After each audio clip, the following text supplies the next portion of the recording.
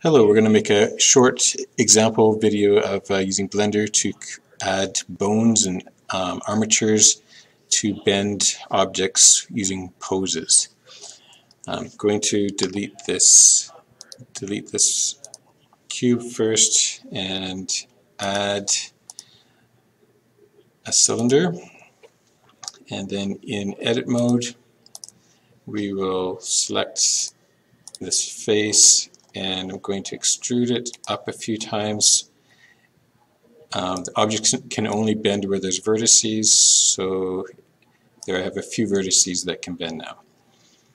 Um, back into object mode, I'm going to add an armature. Um, it's in there, we can't see it. If I switch to wireframe I can see it.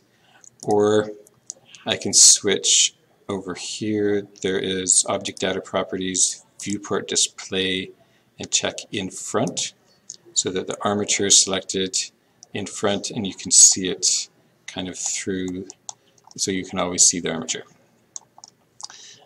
I'm going to um, move it down here, maybe scale it a little bit.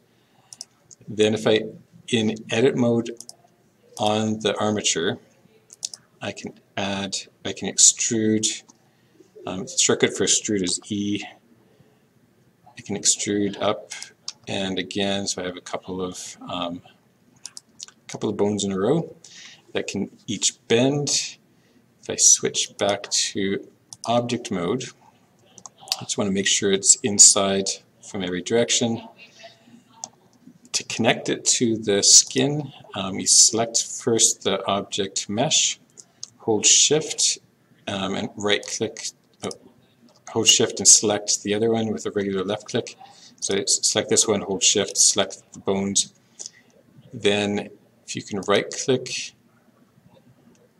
parent, um, the shortcut for this is control P and I want to do armature deform with automatic weights.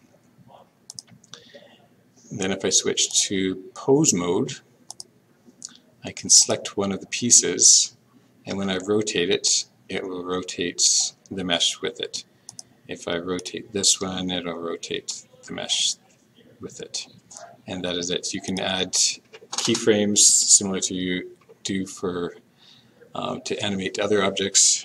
Um, but that's this is how the bones work in a basic, simple example. Um, good luck.